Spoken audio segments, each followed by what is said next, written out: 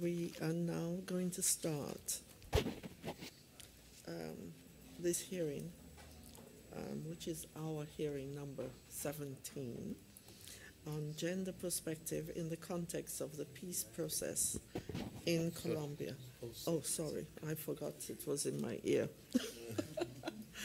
um, yes, um, gender perspective in the context of the peace process in Colombia.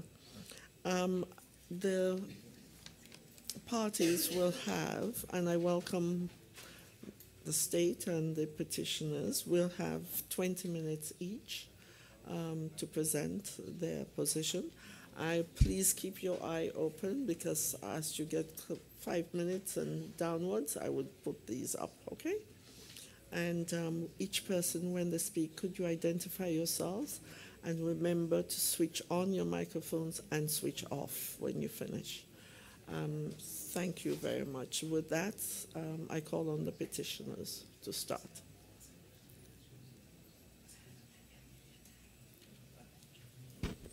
Muy buenos días. Saludamos a las comisionadas y comisionados presentes, así como al honorable secretario ejecutivo, y agradecemos a la Comisión Interamericana la convocatoria a esta audiencia. Asimismo, saludamos a la presencia de las y los representantes del Estado y al público presente. Por parte de las organizaciones peticionarias, nos encontramos en la mesa quien les habla, Lorena Morales Vidal, en representación del colectivo Mujeres al Derecho, José Luis Romero Villalba, abogado defensor de derechos humanos, María Torres Cabrera, en representación de la Red de Mujeres Saladeras de Bolívar, y Omerly Vergara Padilla, en representación de la Asociación Mis Esfuerzos de Bolívar. Igualmente se encuentra presente Luz Estela Romero, del colectivo Mujeres al Derecho. Les transmitimos los saludos también de la Corporación Nueva Esperanza, la Asociación de Mujeres Productoras del Campo y el espacio de articulación regional que articula 53 organizaciones de la región caribe colombiana, también peticionarias de esta audiencia. Reconocemos el significativo avance que representa la incorporación del enfoque de género en los acuerdos logrados entre las FARC-EP y el gobierno colombiano para la continuidad del proceso de construcción de paz. Asimismo, recibimos con beneplácito el anuncio de la continuidad del proceso de diálogo con el ELN y que en el mismo se haya aceptado por las partes la participación ciudadana como un punto central de la negociación. En esta audiencia pretendemos exponer los que consideramos algunos desafíos identificados en materia territorial que pueden representar obstáculos para la implementación de los acuerdos de género. A manera metodológica, dichos desafíos los hemos organizado en aquellos que tienen que ver con la garantía de atención y reparación integral a mujeres, los derechos territoriales de las mujeres rurales y la necesidad de que, los, de que presupuestos tendientes a garantizar el goce efectivo de derechos sean adoptados. En relación con los desafíos a superar en cuanto a la realización de los derechos de las mujeres víctimas, se tiene que, pese a los significativos esfuerzos realizados por el Gobierno Nacional por incorporar un enfoque diferencial y de goce efectivo de derechos en la implementación de las políticas de atención y reparación, persisten situaciones que evidencian la necesidad de incorporar las particularidades específicas de las mujeres dentro del conflicto armado en estas. Ello de acuerdo con las recomendaciones que la Comisión Interamericana realizó al Estado de Colombia en su informe sobre verdad, justicia y reparación y que son objeto del monitoreo que sobre las mismas está realizando dicho organismo para el periodo 2016 lo anterior con el objeto de que se constituyan en antecedentes relevantes que orienten la implementación de las medidas contenidas a favor de las mujeres víctimas en el punto 5 de los acuerdos de La Habana. Dichas situaciones tienen que ver con la reducida efectividad de la participación de las mujeres representantes de víctimas que se refleja en la persistencia de dificultades de acceso a medidas de gran relevancia para la superación de las condiciones de victimización de las mujeres, tales como la reparación colectiva la cual en algunos casos no ha logrado el impacto previsto para esta medida en términos de la dignificación y recuperación psicosocial de los sujetos colectivos victimizados y la reconstrucción del proyecto de vida colectivo. Ello debido a falencias metodológicas en la incorporación del enfoque de género y territorial en la identificación de los daños y la formulación e implementación de las medidas colectivas de reparación. En punto de lo anterior, recomendamos al Estado de Colombia asegurar que las políticas de asistencia, atención y reparación integral partan en su diseño y aplicación del reconocimiento e incorporación de las necesidades específicas de las mujeres, Para garantizar lo anterior, se precisa de la adopción de acciones decididas que fortalezcan la incidencia de la participación de las mujeres víctimas en las instancias de planificación y que se incorporen las recomendaciones que desde dichas instancias, así como desde las organizaciones de mujeres y de las instancias de seguimiento de esta política se vienen realizando. Ahora le cedo la palabra a mi colega José Luis Romero Villalba. Gracias. En relación con los derechos territoriales de las mujeres rurales, sigue siendo un tema de preocupación las precarias condiciones de vida en los territorios alejados de las urbes, demostrado en bajos niveles de resultados que materialicen la igualdad real y efectiva que sustantivamente incorporan las normas en Colombia. Tal situación afecta en mayor medida a las mujeres, en especial a las mujeres de zonas rurales y víctimas del conflicto armado. El Departamento Administrativo Nacional de Estadística DANE determinó que las mujeres constituyen el 52% de la población, de las cuales el 46% se encuentran en zonas rurales. El último Censo Nacional Agropecuario estableció que existían 264 mil mujeres productoras, lo que hace que la tasa de participación productiva de las mujeres sea de un 26% frente a un 61.5% de productores hombres y un 12.5% que reconoce una producción conjunta entre hombres y mujeres. Asimismo, el anterior instrumento no visibiliza el trabajo reproductivo y de cuidado, casi siempre en cabeza de las mujeres. Y además se preocupa, preocupa todavía que el gobierno no dé cuenta de las medidas concretas que propendan por cambiar la realidad de desigualdad, lo que constituye un obstáculo significativo para la implementación del punto uno del acuerdo entre el gobierno y la FARC que contempla, entre otras acciones, la creación de los planes de desarrollo con enfoque territorial y de género. Otro motivo de preocupación es la falta de compatibilidad entre el enfoque de desarrollo económico enfatizado por el gobierno que se contrapone a los de vida digna, los derechos humanos y los conceptos de buen vivir que tienen las poblaciones rurales en Colombia. Mientras que el primero centra sus esfuerzos y políticas en el crecimiento económico con la explotación de los territorios, las poblaciones rurales siguen enfatizando en la destinación de la tierra para su hábitat, la agricultura familiar y colectiva. Por otra parte, la Ley 388 de 1997 desarrolla los planes de ordenamiento territorial, pero a la fecha un gran porcentaje de tales planes se encuentran sin vigencia y aún no se han realizado o actualizado. A la luz del presupuesto general de la Nación, la implementación de los acuerdos demanda una destinación importante de inversión política o pública en sectores y políticas claves que garanticen la sostenibilidad del proceso. Contrariamente, las dinámicas de planeación presupuestal del Estado en las últimas vigencias anuales ha, tenido, ha tendido a la disminución de los presupuestos de inversión. En este sentido, notamos con preocupación que del presupuesto general de la Nación para la vigencia del 2016 establecido en 215.9 billones de pesos, solo se destinó a la inversión pública el 18.8% y para el año 2017 el presupuesto recientemente aprobado por el Congreso de la República estableció o se estableció en 224.4 billones de pesos y de este solo el 14.7% se destina a la inversión pública. En cifras, el sector agropecuario para la vigencia del 2016 cuenta con una destinación presupuestal del 4-10% del total del presupuesto aprobado para inversiones, mientras que para la vigencia del 2017 la inversión del sector agrícola representa el 3.6% del presupuesto total de inversiones, lo que evidencia una reducción porcentual del 0.5 en relación al presupuesto del 2016. Para el sector de la inclusión social y reconciliación, en el cual se circunscribe la política de atención y reparación de víctimas, para la vigencia del 2016 se destinó el 21,80%, destinándose ese porcentaje 823 mil millones de pesos para la atención humanitaria, cifra insuficiente para la atención de más de 5 millones de víctimas.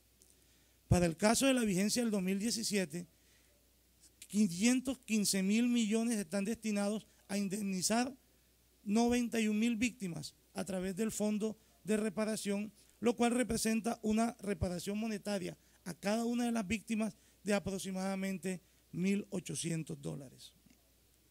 El presupuesto nacional no evidencia acciones que contribuyan a garantizar los derechos de las mujeres en ninguno de los sectores. Por el contrario, desde el sector de inclusión social y reconciliación es evidente el mantenimiento de políticas asistencialistas concebidas desde el enfoque familista y que cuentan con altos porcentajes de participación del presupuesto total aprobado para la inversión. Frente a los aspectos antes citados, formulamos las siguientes recomendaciones. Institucionalizar un enfoque de género en los sistemas estadísticos, en especial en los rurales y agrícolas. Desarrollar un censo nacional de población que incorpore un enfoque de género y de derechos, debido a que el último censo poblacional en nuestro país se llevó a cabo en el año 2005. En aras del derecho a la verdad,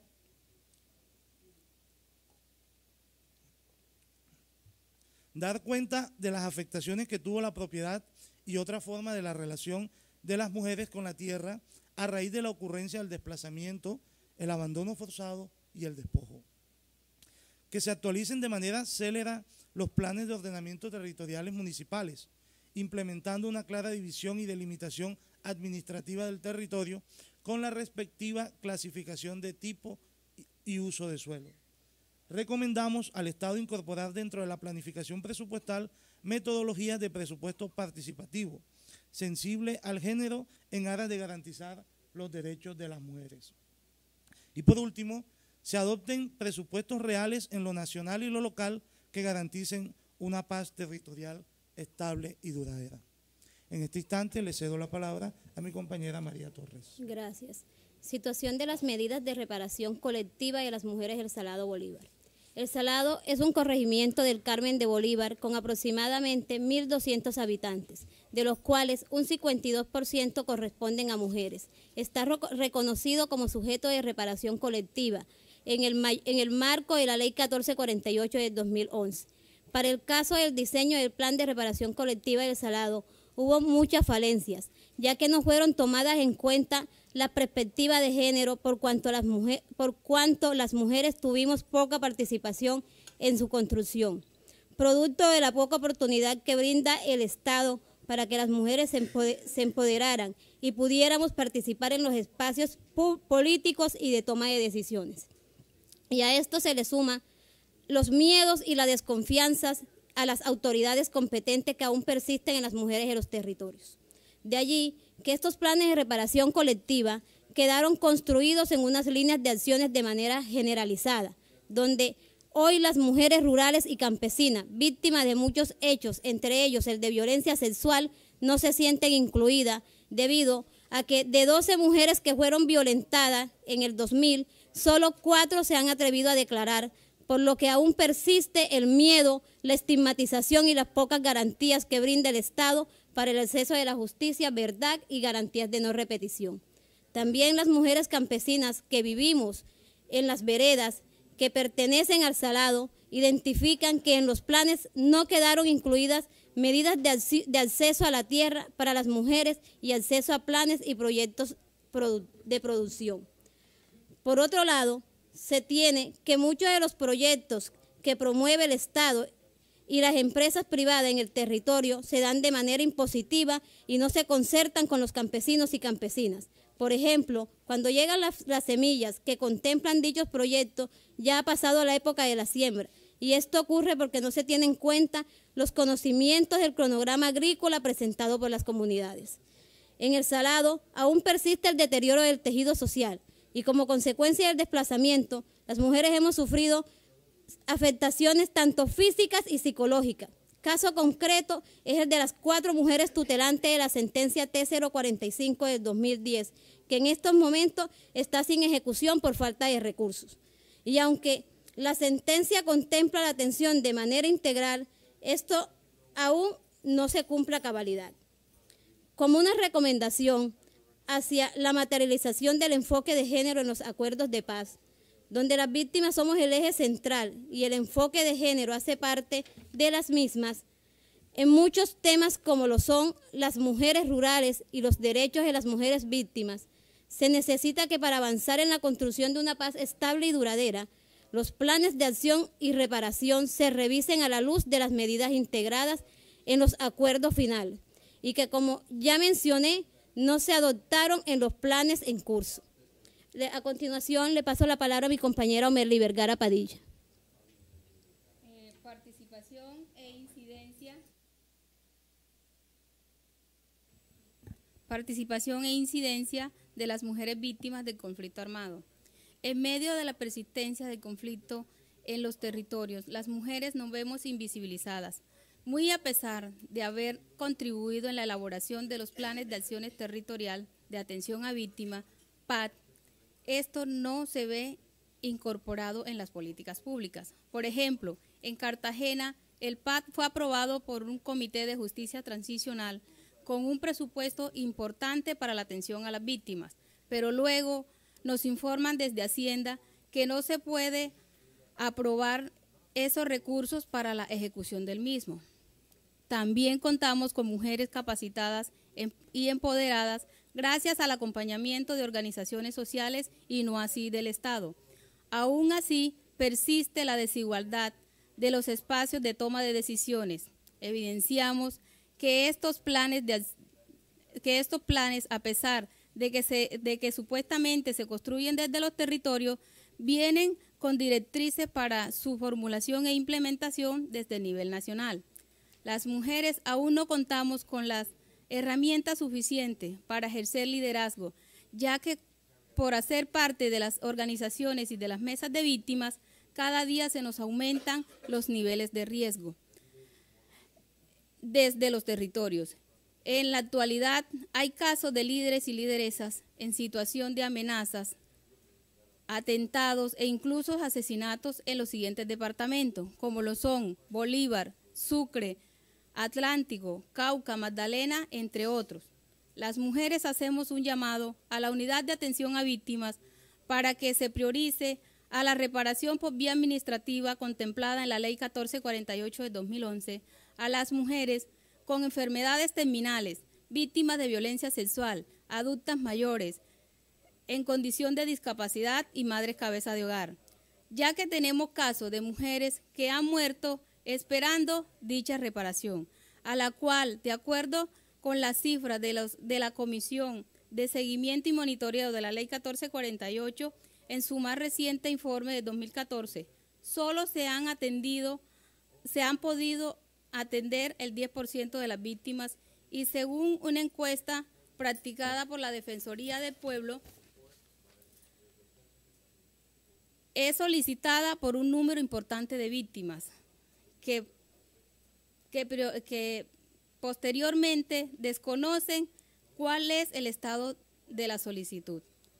Así, también que se ajusten las herramientas de medición de los niveles de vulnerabilidad a los que depende la entrega de la ayuda humanitaria, ya que muchas veces esto no da cuenta de las condiciones reales y, complicadas de las víctimas y ocasiona que, las, que se emitan resoluciones de terminación de las ayudas a víctimas que aún lo necesitan.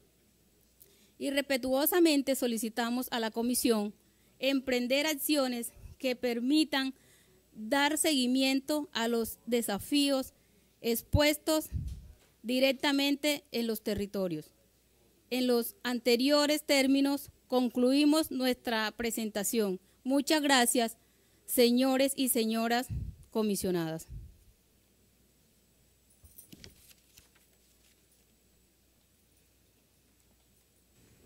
Thank you very much, um, petitioners. I now call on the Honorable State of um, Colombia to Muchas present. Gracias,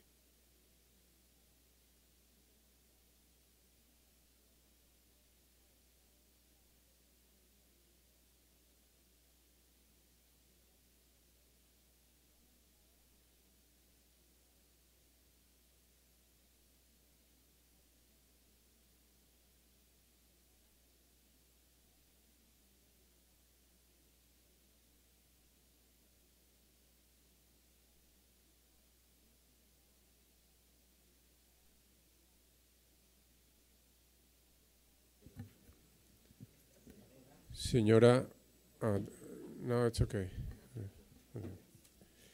Señora Presidenta, otra de las caras atroces del conflicto ha sido el abuso, la exclusión frente eh, a las mujeres de la sociedad colombiana. Por eso reiteramos cómo la solución y el acuerdo de paz suscrito por el gobierno y las FARC-EP el 24 de noviembre pasado constituyen un paso fundamental para encontrar un nuevo país. Y la paz tiene rostro de mujer. La paz constituye una oportunidad fundamental para resolver eh, aspectos fundamentales en esta materia. Pero al mismo tiempo, el acuerdo enfrenta una situación estructural eh, de la mayor importancia en el conflicto que ha vivido nuestro país, y es el tema agrario. El acuerdo del gobierno precisamente aborda de manera directa distintas perspectivas para resolver el acceso a la tierra y las distintas oportunidades en esta materia. Agradecemos a los peticionarios eh, que recuerden el enfoque territorial, porque Colombia es diversidad, Colombia son regiones, Colombia son provincias, y así ha de ser el manejo de la paz y del posconflicto, y así lo ha entendido el Gobierno Nacional. Por ello, compartimos con ustedes su preocupación para que haya participación en los planes de desarrollo, para que haya participación en la inversión y sobre todo porque las zonas del conflicto son zonas en las cuales, luego de que los hombres se fueran a la confrontación, quedaron miles y miles de hogares con madres cabeza de familia. Y eso es lo que tenemos que enfrentar en un posconflicto en el cual, por ejemplo, la educación, en la cual se da prioridad a las mujeres, va a ser uno de los aspectos básicos. Por primera vez en la historia reciente pasó a ser la educación el primer renglón en materia de inversión pública. La reforma rural integral contiene un ambicioso programa de tierras. Con el fin del conflicto se podrá fortalecer la restitución de tierras, Además, se pondrá en marcha un fondo de tierras para distribuir a campesinos y campesinas que deberá disponer de 3 millones de hectáreas en el acceso fresco y se formalizarán 7 millones de hectáreas en los próximos 12 años, es decir, 10 millones de hectáreas en un país de 116, 115 millones de hectáreas. Los planes en materia de infraestructura gozarán entonces de una participación especial en el posconflicto. Para ahondar en este tema, Doy la palabra a Andrés García, asesor de la Oficina del Alto Comisionado. Buenos días a todos y todas. Uno de los propósitos principales del nuevo acuerdo final es resolver las situaciones que han permitido que el conflicto persista en el tiempo y asegurar la construcción de una paz estable y duradera. Como parte de este acuerdo, la reforma rural integral busca poner en marcha una gran transformación del campo, para mejorar las condiciones de vida de sus habitantes, cerrar las brechas urbano-rurales y erradicar la pobreza rural. Para ello se acordó la puesta en marcha, como lo decía el señor embajador, de un gran programa de acceso a la tierra que busca mejorar su distribución, extender la formalización y fortalecer la restitución. Como gobierno, estamos convencidos que para garantizar la no repetición de la violencia y la sostenibilidad de la paz, es fundamental fortalecer la presencia del Estado en los territorios y brindar condiciones de vida dignas en el campo, tanto para hombres como para mujeres. Teniendo en cuenta las solicitudes de las peticionarias, para esta, audiencia quisiera transmitir tres mensajes respecto del enfoque de género en el proceso de paz.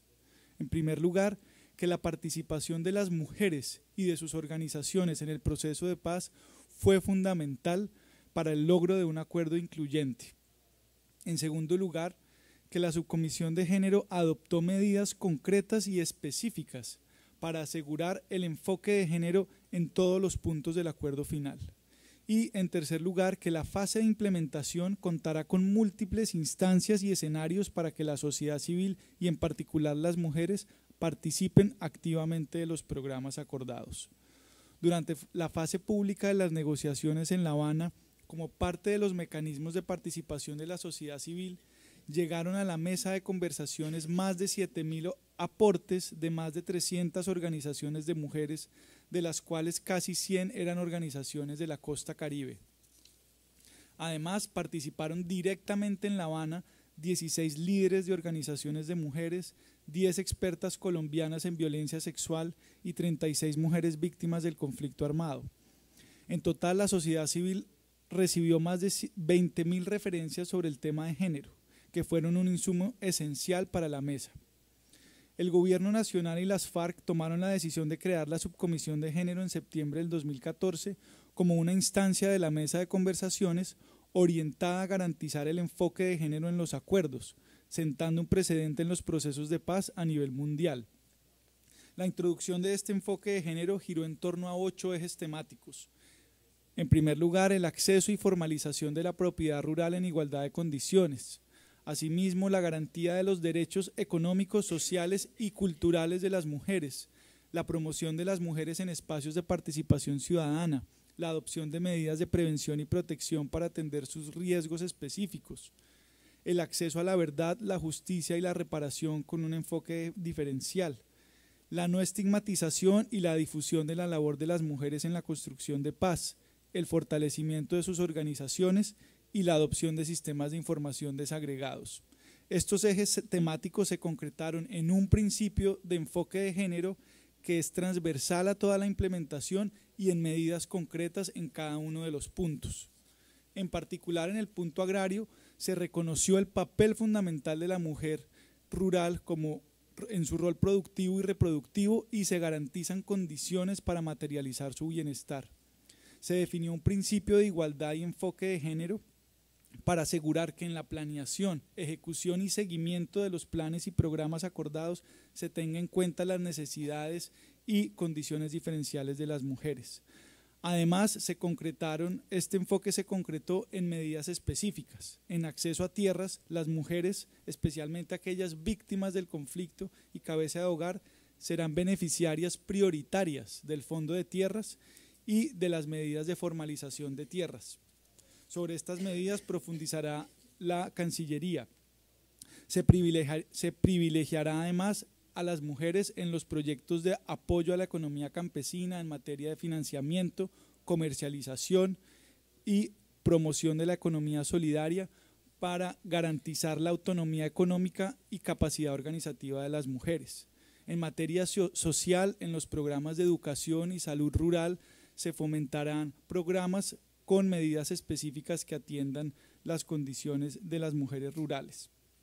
El logro de la subcomisión de género en la mesa, en gran medida como respuesta a la movilización social de las mujeres a nivel nacional, es invaluable.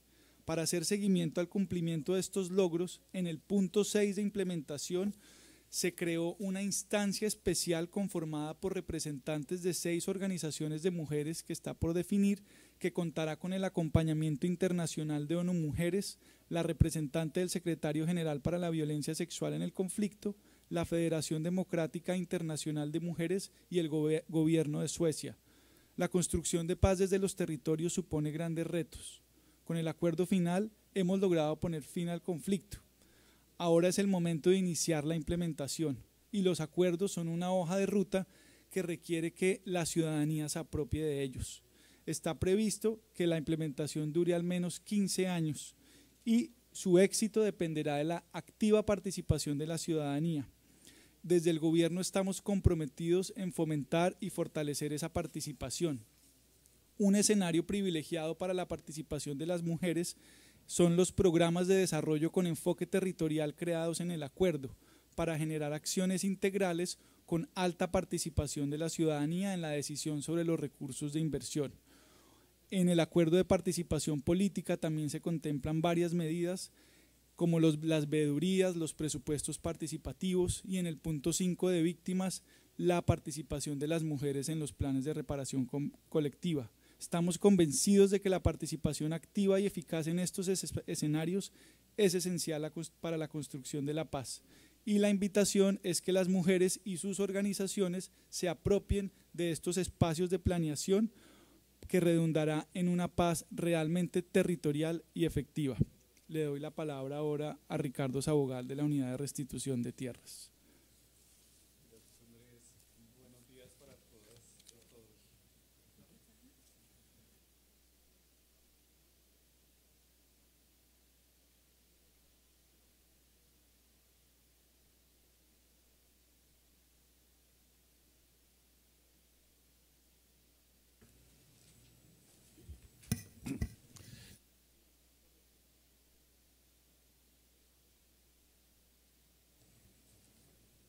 Cuando iniciamos la implementación de la política restitutiva, el país no contaba con una línea de base que diera cuenta de cuánto era la dimensión del despojo y abandono de tierras.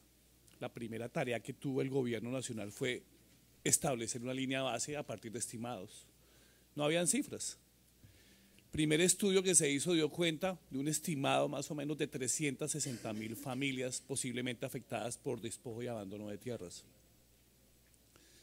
pasados cinco años, nos hemos dado cuenta que esa cifra estaba sobredimensionada, de que la dimensión del problema no era de esas dimensiones, valga la redundancia.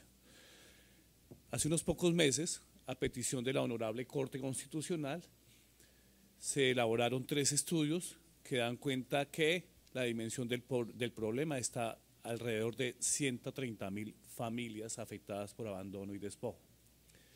De estas 130 mil, ya han llegado a la unidad de restitución 97 mil reclamos de restitución de tierras pasados cinco años de la implementación de la ley.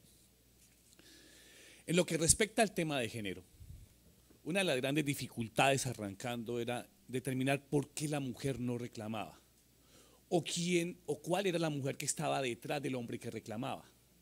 Para eso, conjuntamente con Cisma Mujer, con ONU Mujeres y con la MAP OEA, nos dimos a la tarea de establecer un diagnóstico de cuáles eran las barreras que enfrentaban las mujeres a la hora de reclamar los derechos que sobre la tierra tenían. Y allí encontramos que las mujeres no sabían de sus derechos o desconocían la dimensión del derecho, no se sentían titulares de derecho. También en la informalidad de la tierra. El país, un poco más del 50% de los campesinos no tienen títulos de propiedad. Y en ese sentido, obviamente, la mujer era mucho más vulnerable. Y también encontramos un machismo burocrático. El, funcionario era machista y no reconocía los derechos sobre la tierra. A partir de ese diagnóstico hicimos el primer programa de restitución para mujeres. ¿Y allí qué hicimos? Primero, establecimos unas variables diferenciales en los formularios de solicitud de restitución.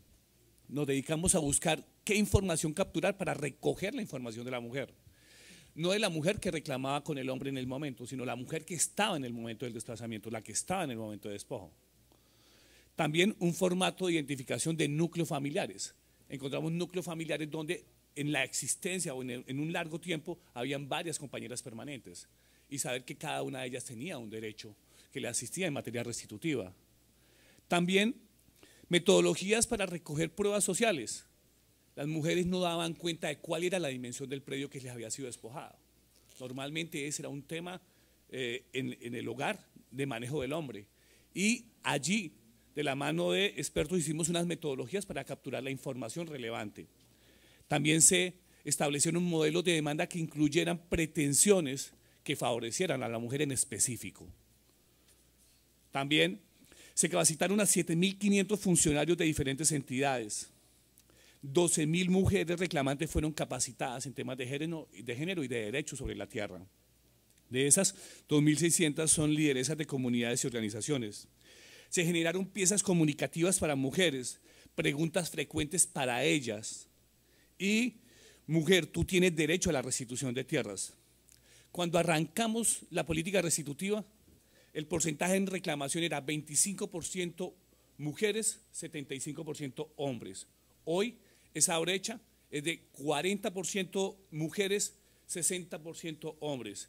Y la preocupación del gobierno no es el 40%. La preocupación del gobierno es quién está detrás de ese 60% que reclama el hombre. Que ahí es donde estamos con el foco. Entendemos que ese 40% son mujeres que ya son empoderadas. Y hoy, en el proceso restitutivo, el 50% de los derechos están en cabeza de mujeres en las sentencias restitutivas. Arrancamos con un 25, luego un 40 y finalizando con la sentencia restitutiva, el 50% ya el juez se lo entrega a mujeres. Esa primera tarea lo hicimos en, en la versión 1 del programa de mujer. Ahora, la preocupación del gobierno es versión 2 de ese programa. Y la preocupación del gobierno allí es en hacer sostenible la restitución de tierras para mujeres. Por eso, de la mano de 500 lideresas nos dimos a la tarea de trabajar con Cisma Mujer nuevamente, con eh, ONU Mujer, en formular la versión 2 del programa de mujer. Y ahora estamos con las siguientes preocupaciones. Proyectos productivos con enfoque de género.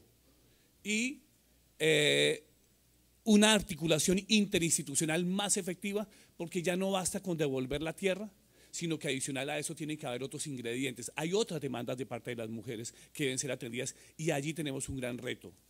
Para mí es muy placentero contarles a ustedes que la semana pasada el premio de alta gerencia que organiza la función pública en nuestro país, el jurado entregó mención de honor al programa de mujer. Y eso nos ha hecho recapacitar mucho eh, y sentir que cada vez que nos juntamos, organizaciones de mujeres y gobierno, lo hacemos mejor. Mónica, por favor. Muchas gracias. Para responder a varios de los retos planteados en esta audiencia, se ha creado la Agencia Nacional de Tierras que fortalece la institucionalidad nacional y que tiene como función principal la ejecución de políticas de ordenamiento social de la propiedad rural. En términos concretos, la agencia debe ejecutar los programas de acceso a la tierra, con criterios de distribución equitativa entre los trabajadores rurales en condiciones que les asegure mejorar sus ingresos y su calidad de vida. En este sentido, en un marco de posconflicto, se busca implementar medidas de formalización y distribución equitativa que garanticen la función social y ecológica de la propiedad para ello se ha propuesto la creación de un fondo de tierras del cual ya se había hecho mención, destinado a campesinos sin tierra o con tierra insuficiente. Se establece también un plan masivo de formalización de la propiedad y se define la necesidad de modernizar el catastro rural para que el uso de la tierra concuerde con su vocación. Igualmente, se establece la importancia de proteger las áreas de especial interés ambiental y se determina la creación de una jurisdicción agraria para resolver los conflictos en torno a la tierra. Es así como desde la nueva institucionalidad se plantea un giro a la manera como se venía implementando la política de tierras por demanda. Es decir, se hace un giro para pasar a una que operará por oferta, trasladándose hasta los hogares campesinos. Teniendo en cuenta el objeto de la presente audiencia, resulta pertinente hacer referencia a los mecanismos previstos en la agencia en materia de acceso de tierras, en cuyo marco se atenderá a la población víctima del conflicto y en especial a las mujeres campesinas y madres cabeza de familia.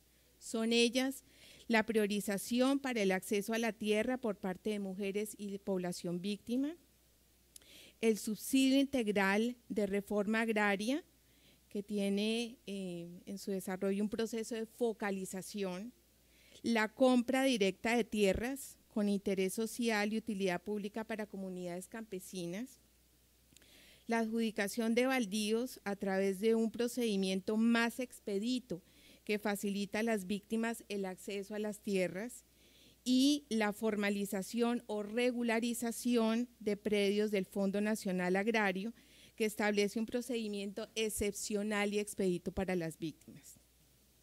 Por último, el Estado desea manifestar su disposición en abrir un espacio a las organizaciones aquí presentes que han solicitado esta audiencia para profundizar en sus muy interesantes propuestas con una visión constructiva de futuro que sirva al propósito de consolidar una paz estable y duradera para el país. Gracias.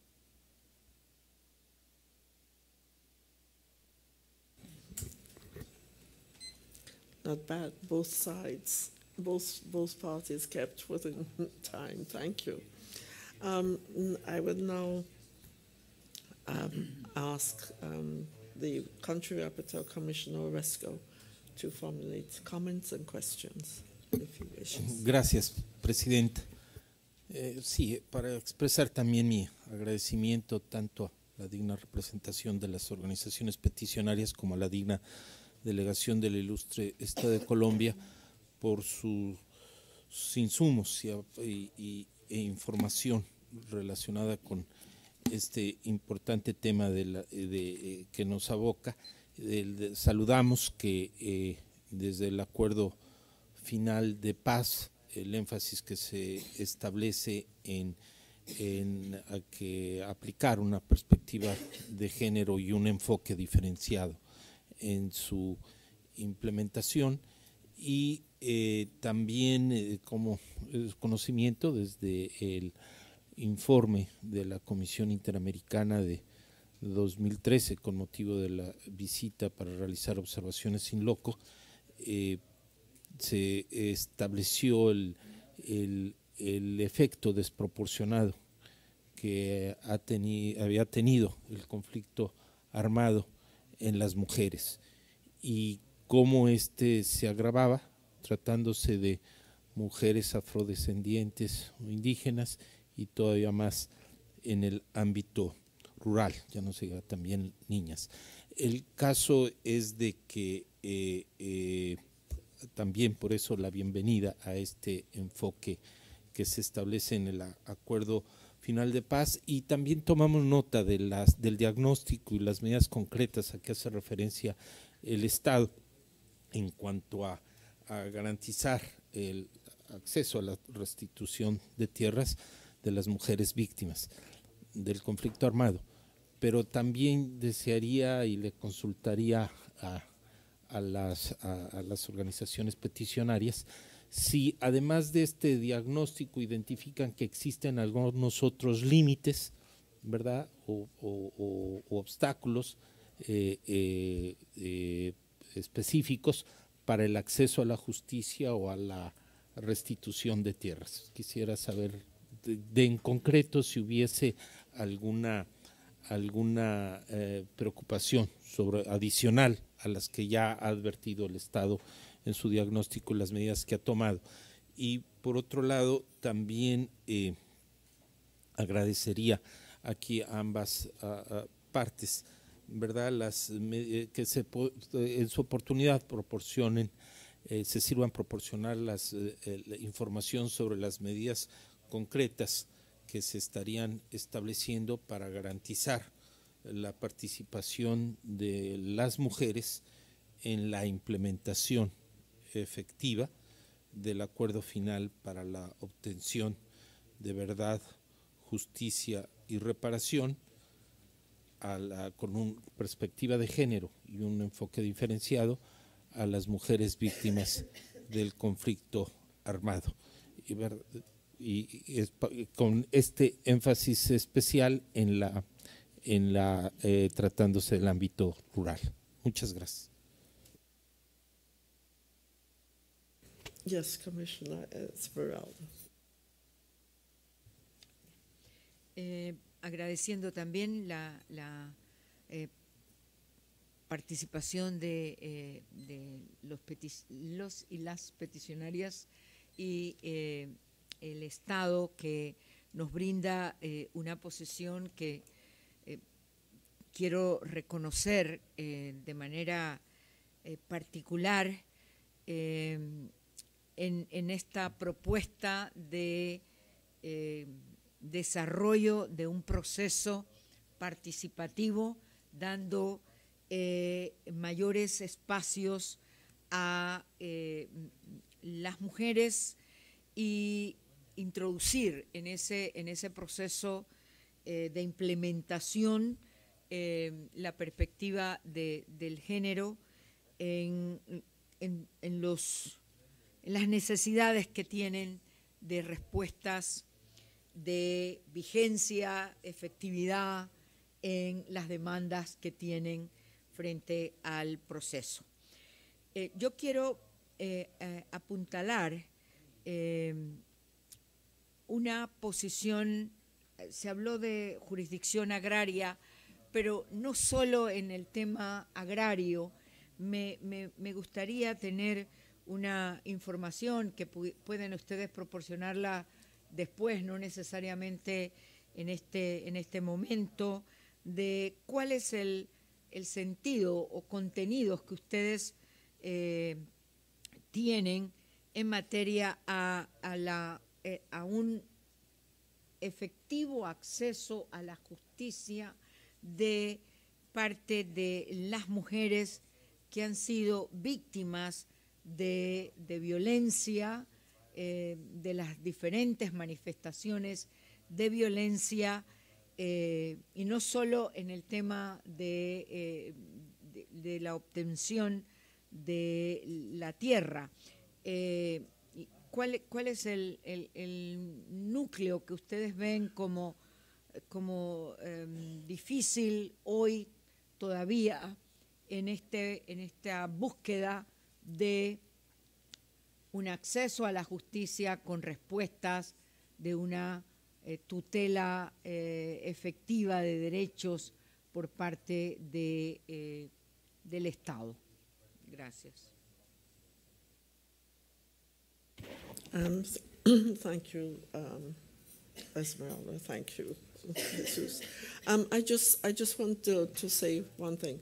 I thank um, the ambassador for mentioning that peace has the face of a woman, but we must also remember that justice has the figure of a woman, and in that light, I'm happy to hear all the, the plans and advances and, and mechanisms and procedures which are being set in place for um, participation of women. But I do wish to remind the state that it has to be equal.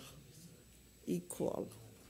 And so you must hasten all your plans and your mechanisms that you're engaging in and projects to not only get to a 40% of women, it must be the whole of the wom- woman population, which is 52%. And that is equal for, in reality, it's not 50 50 because we're more than the male. Um, so um, this really is all I have to say on, on this matter. I, we will be watching um, and monitoring what's, what's um, going on. And, and we do ask, one thing I do ask though, also, you, when you talk about percentages, please give us disaggregated uh, uh, um, uh, categories within these, these references to percentage. Saying 40% of women doesn't really say anything. It, you have to tell us ethnicity, age, and, and so on. And, and also in relation to education, what kind of education and what kind of training, and, and in relation to the age group of women and the ethnicity of the women um, receiving assistance and so on. And land is very important for women. And I, I just one thing I want to mention: you you mentioned the fact that um, women, I think the last speaker, women in rural areas didn't know their rights. Well, that is laid at the, at the lap of the of the state. Um, the state has to ensure that people know their rights. So I trust you're working on that avidly. Thank you. Thank you, both sides. Thank you very much.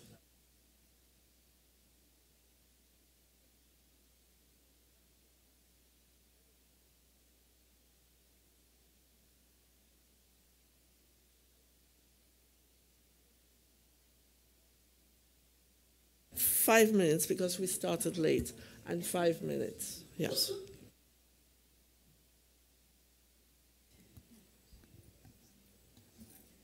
Bueno, eh, la participación sigue siendo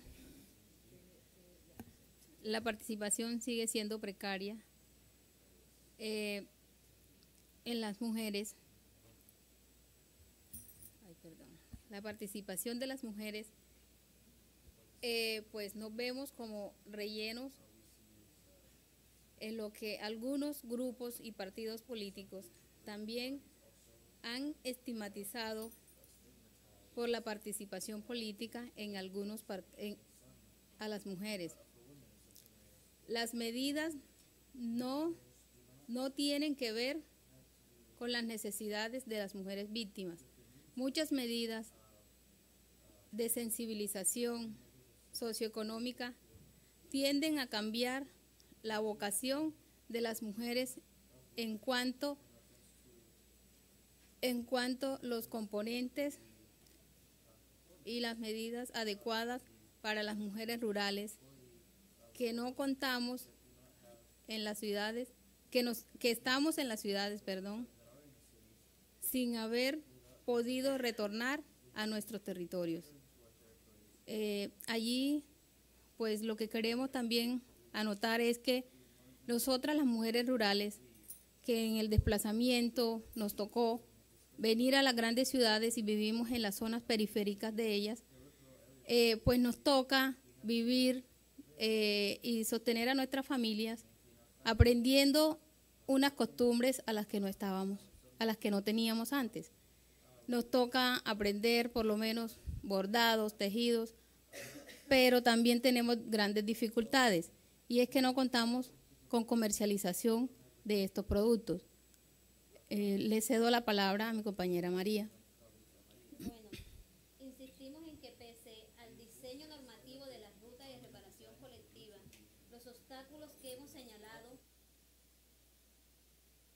mujeres de los casos del Salado, sino en el de otras comunidades y organizaciones de mujeres, el cual pueden ser mencionados tanto por la Comisión como por el Estado, como son el caso de la Asociación de Mujeres Productoras del Campo, que llevan 36 meses en, en ruta con la Unidad para la Atención y Reparación a Víctimas, y aún no concluye la construcción de su plan de reparación colectiva. Las mujeres afro del municipio de Zambrano, que tras 16 años de victimización, aún están a la espera de que se inicie la implementación de la ruta.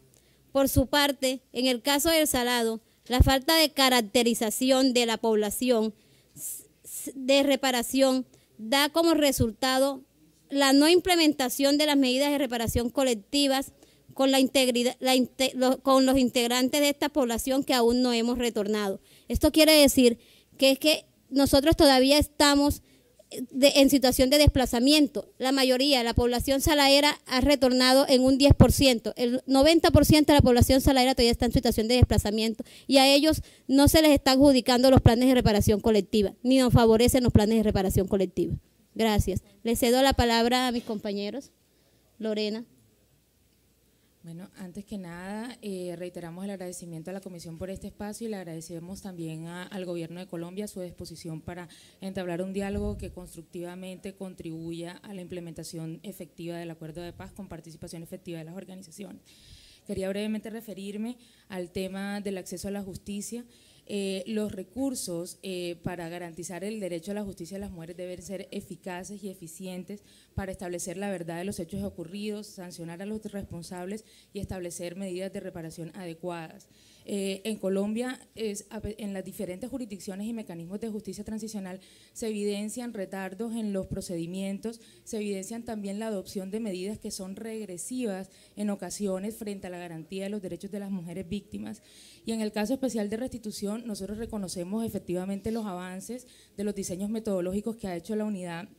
Eh, sin embargo, eh, se evidencian en las sentencias de los casos que han logrado acceder a la, a la, jurisdicción de restitución que las medidas a favor de las mujeres eh, se quedan en la enunciación de su, de su priorización en, en, el acceso a diferentes programas y se quedan también eh, en, la, en la titulación conjunta que también mencionó la unidad, por lo tanto son retos a superar, al igual que la adecuación de la política pública en general para la atención de las víctimas y la destinación de presupuestos sensibles al género en ese sentido. Eh, pues nosotros vemos con mucha esperanza, al igual que creo que la gran mayoría de la población colombiana, los acuerdos de La Habana. Pero nos preocupa enormemente eh, cómo en los acuerdos se ha diseñado, se han planteado unas políticas en relación al agro, en relación al campo, en relación a las mujeres, pero las leyes que en este momento está diseñando el gobierno nacional distan mucho de eso que se ha acordado. Eh, vemos una contradicción entre el contenido de los acuerdos y las leyes que se han planteado. Y nos preocupa, ejemplo, el caso de que en el punto 1, el punto 1.1 de los acuerdos de La Habana, y, cierro, gracias, eh, se habla de un fondo de tierras y se hablan de más de 3 millones de hectáreas. Pero en estos momentos, esas fuentes que están definidas, no existe una claridad frente a ellas. No, hay, hay evidentes vacíos en la parte registral, así como inconsistencia en las informaciones jurídicas de esos suelos. Y, además, entonces vemos que por un lado se habla de políticas de tierras en favor de los campesinos, pero por otro lado también se implementan tierras en favor eh, de políticas agroindustriales. Entonces vemos esa contradicción que quisiera que el gobierno nos facilitara o ayudara. Gracias.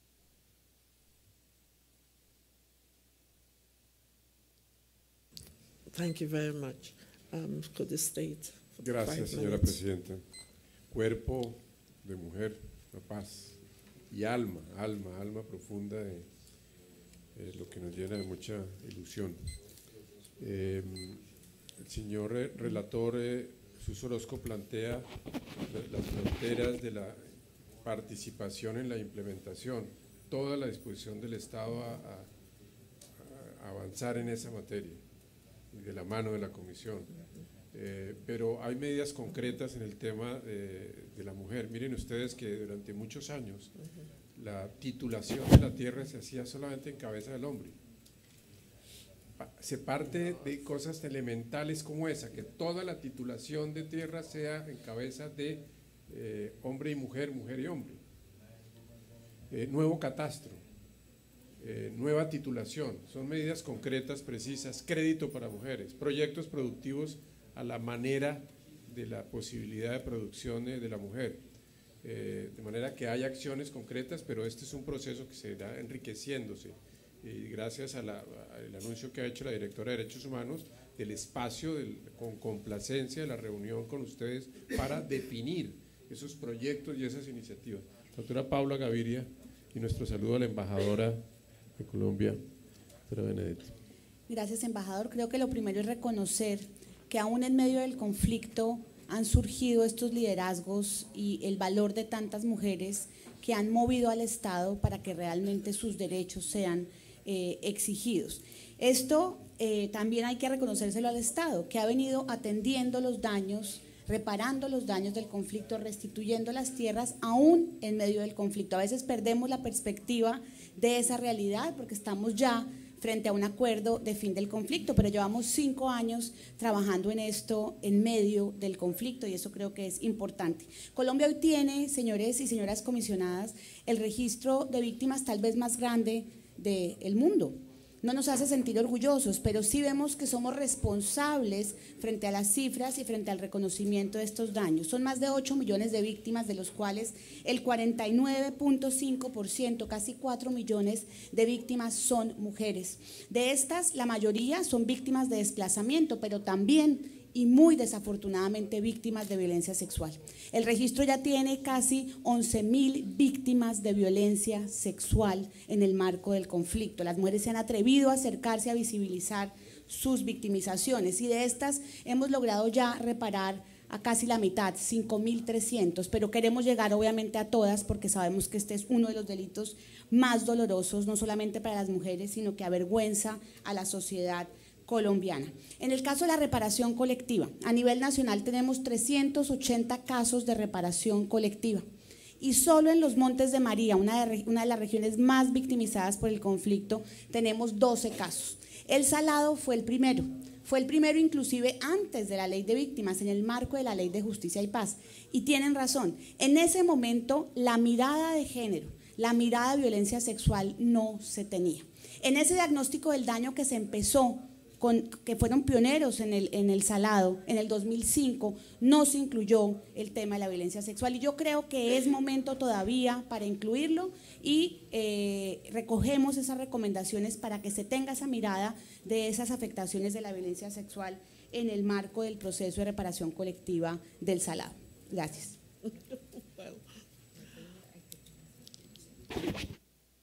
Mm, I didn't get the end of, of your the last From sentence. Where? Could you say to me in English? From where?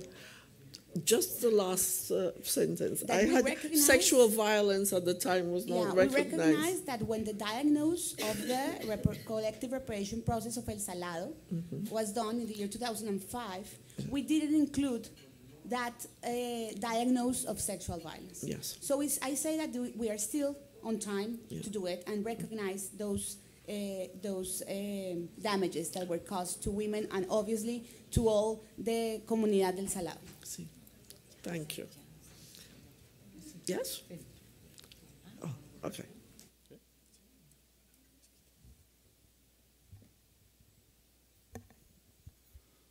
I just, I'm just going to give you the extra time we gave. I'm going to give it to you. So you have like one and a half minutes. Gracias, comisionada. Muy, muy breve, solo para resaltar que en los acuerdos, en el punto 5 de víctimas, para responder a la pregunta del comisionado, también hay unos, una perspectiva de género muy importante en cada uno de los mecanismos de todo el sistema integral de verdad, justicia, reparación y garantías de no repetición. Particularmente es bien poderoso lo que quedó acordado como parte de la Comisión para el Esclarecimiento de la Verdad, que hace parte del eh, numeral 5112, en donde tenemos una perspectiva de género dentro de la comisión. La comisión va a tener un grupo de trabajo de género dentro de su estructura y va a atender los casos específicos para esclarecer la verdad en todo lo relacionado con los casos de violencia sexual y además, eh, también como lo señalaba la comisionada, eh, va a tener una participación equitativa entre hombres y mujeres para la selección de los comisionados que van a ser parte de esta instancia. Asimismo, dentro del punto de reparación, en el numeral 51342 del acuerdo final, vale la pena llamar la atención sobre la importancia que va a tener en lo que tiene que ver con la reparación psicosocial y la reconstrucción del tejido social, el enfoque de género y la labor eh, de las mujeres. Yo creo que, solo para cerrar, en el acuerdo final se reconoce el efecto desproporcionado del conflicto en las mujeres, pero eh, además la- las mujeres como constructoras de paz. So- so- 30 segundos. Solamente para, para, para sino para darle la razón, Lorena. Lo hicimos bien en la primera parte de reconocer en los instrumentos los derechos de la mujer y por eso el segundo, la segunda versión del programa está enfocada en la estabilización de la restitución. Eso significa proyecto productivo con enfoque de género, también movilizar la institucionalidad para que lleguen otros elementos que no son de la restitución, pero que tienen que eh, apuntarle a la reparación integral. Ahí está el esfuerzo. Um, thank you very much. I must apologize to Ambassador for not recognizing your presence when you come in and doctor. Thank you. And thank you all for being here. This hearing is at an end. Thank you.